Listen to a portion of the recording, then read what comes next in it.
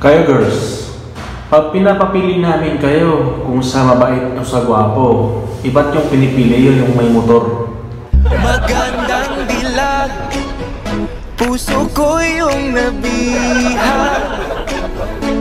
Wala nang hinanais Ligaya kang labis Oh, magandang dilag.